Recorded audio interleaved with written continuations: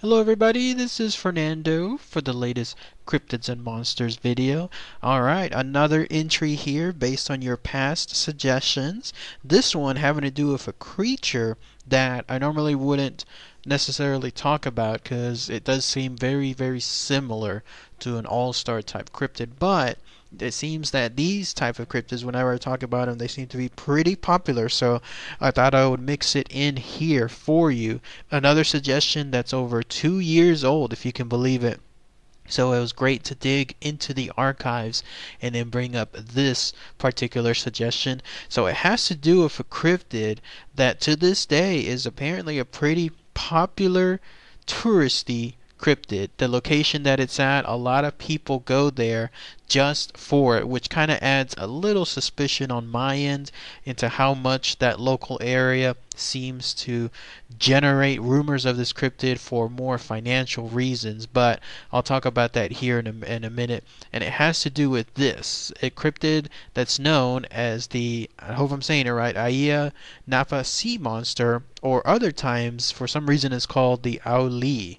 I don't know exactly why it has two very strange names, but in either case, I'm going to go with the Ayia Napa sea monster as the more friendlier term, uh, and that way, uh, that's the one that I'm going to use throughout this video. So what is this Ayia Napa sea monster? Well again, it's a cryptid that seems to be found in the waters, particularly off the coast of a place called Ayia Napa, hence the name of it, there in Cyprus, which you're looking at at least a picture of the sea monster here. So the, uh, immediately you'll see why I didn't necessarily want to talk about it, um, because again it looks very similar to the Loch Ness monster. Um, eh, there's a variation of it though that makes it seem a lot more different. In fact, it looks much like, um, and I was thinking about this too about King Ghidorah. Uh, Ghidorah, I'm sorry, uh, from the Godzilla world. So uh, you'll see that illustration here later on. But in the other cases, this though is its main interpretation. Cyprus, by the way, is located somewhere around the Greek area. So um, in fact, you're looking at a location of it here. And what makes this also very fascinating is that if you go there, specifically to try to find this creature, this monster, when you do so, there's a very, very specific location that this thing is located. I love it when cryptids have this trait within them whenever they harbor one very spot a particular spot because there's there's always that idea that you can go there and you can enjoy it and you'll have a good chance of seeing this cryptid because that is its home. In this case it's this location. It's called the Cape Greco or the Cavo Greco as it's called there.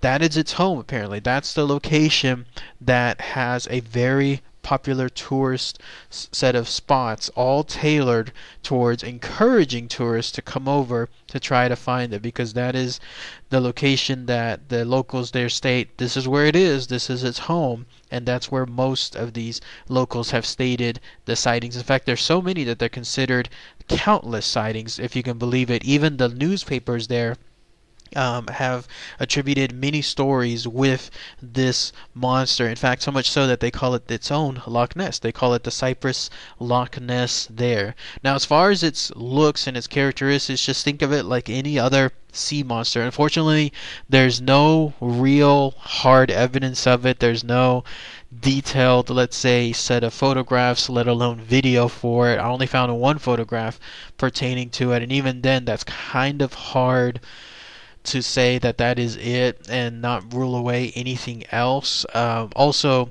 there's that variation I was mentioning earlier. There's the idea that it looks like a traditional sea serpent, but other times it seems to have a huge difference. Like it has either six or many many more heads to it. So uh, and these heads all have their own serpent like neck with either a dog like head or some kind of uh, let's say a traditional sea monster type head. And then its body seems to have either several arms or different arms different number of arms. It just depends i guess on how many people have seen it that way. So quite a bit different than than the usual circumstance where people just see it more like one Loch Ness monster with one head. No, in other cases, they say that it looks much different. Many other heads, as many as 12 forelimbs, if you can believe it and uh, that's at least based on those eyewitnesses. If you wanted to get an idea of how it's supposed to look like. It's supposed to look like one of the monsters that was betray- portrayed within ancient, um, I guess, Greek drawings.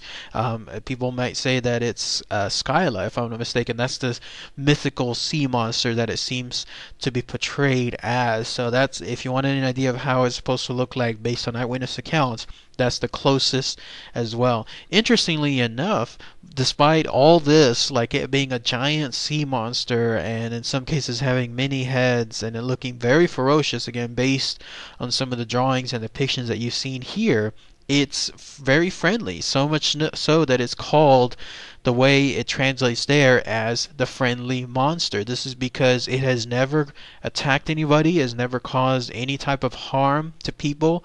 It seems to just simply enjoy its own existence away from people, and then if it even comes across it, it seems to just flee. Like it, it, it absolutely does not do any harm. So much so that even by accident, or maybe on purpose, but if it gets caught in any kind of fishing nets, rather than having some huge ha- havoc and pandemonium occur to whoever caught it, which it could clearly do considering its size. No, instead it just simply rips the net and then uh, runs away and then, or swims away in this case as quickly as possible. So that gives you an idea of how much the locals there seem to respect this creature so much so that they call it again the friendly monster. But that's it. Not much info really as far as any other sightings or very specific sightings. There's also the notion that in some cases the government there, the local government has tried to find that before. I don't didn't see much information about that afterwards, so I don't know how much that was actually true. But as far as the tourists and the tourism industry there, I was mentioning it earlier. Here's my opinion on it. I do think that there is a little bit of more of an ulterior motive with regards to these sightings. Um, obviously, like the Loch Ness monster, I mean, it has become its own phenomenon. People go there to this day specifically just for that. It's become like its mainstay. Like uh, there's a term in Vegas that I'm trying to remember I think it's called like a de- uh, whenever you think of like going to Vegas to see Celine Dion or Elton John, they become destination uh, trips, like they become destination shows. Very same concept with the Loch Ness. Like it's become so huge that this Loch Ness monster that people go to that very tiny area just for the Loch Ness.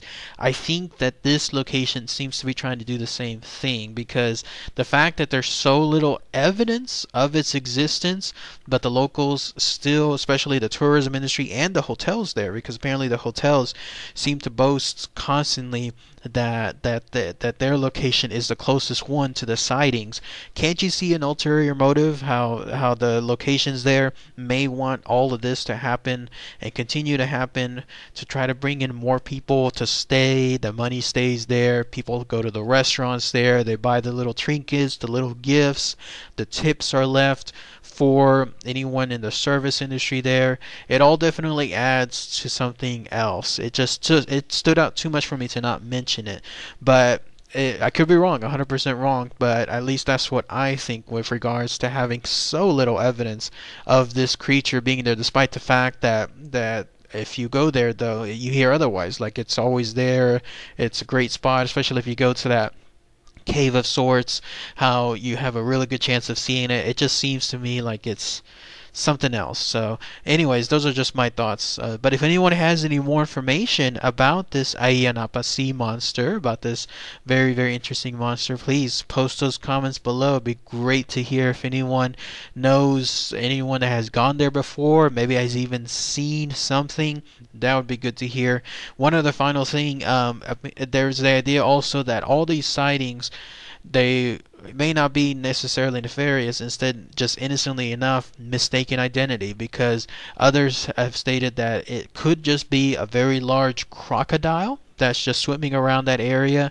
And then based on the waters and based on the angles people see it as something else. Or maybe even a giant serpent like an actual snake uh, one of those giant ones that people see it again from different angles and think of something else. And that could be another angle too. So anyways all right everybody. Thanks again as always. Take care